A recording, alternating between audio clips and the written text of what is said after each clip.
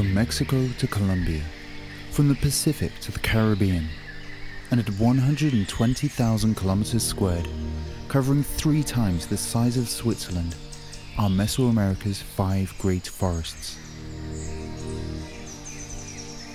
These five forests encapsulate the essence of Mesoamerica.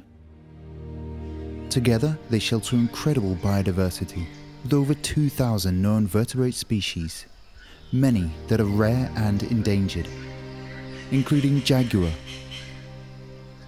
Baird's tapir, harpy eagle, and the Central American river turtle. They provide irreplaceable flyways and wintering grounds for migratory birds. Ancient culture is embedded within the heart of these forests, with vestiges of ancient civilizations across several World Heritage Sites. More than 5 million people depend on the five forests, more than half of which are within indigenous territories with a diversity of cultures and languages. The five forests are also of global significance, as they keep approximately half of Mesoamerica's carbon stores locked away. But we are losing these incredible forests. Since the year 2000, three of Central America's five great forests have been reduced in size by more than 23%. This decline has been driven by an insatiable global demand for beef, as 90% of deforestation in the five forests is inflicted by illegal cattle ranching. This industry is sometimes used as a front for organised crime and drug trafficking.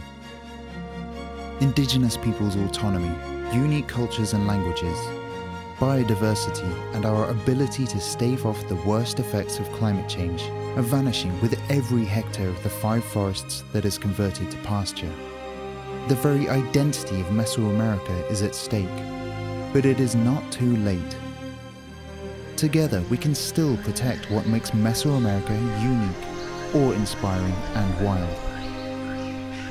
Governments, citizens, companies, and local indigenous and Afro-descendant peoples are joining forces to turn the tide for Mesoamerica's five forests.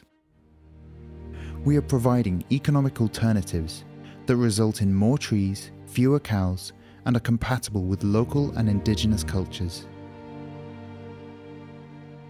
We are supporting local people to fight for their rights to manage natural resources and protect their forests. We are ensuring we safeguard the region's most at-risk species. Through protecting the five forests, Mesoamerican countries can meet their international climate commitments. Without the five forests, they cannot. By 2030, we aim to ensure that over the five forests there is zero extinctions of species, 10 million hectares of land protected, 500,000 hectares of forest recovered, and zero illegal cattle ranching. Mesoamerica's people, their culture, biodiversity, resilience to climate change, economic health, the very essence of Mesoamerica all depend on this land. Join us and help conserve the five forests of Mesoamerica.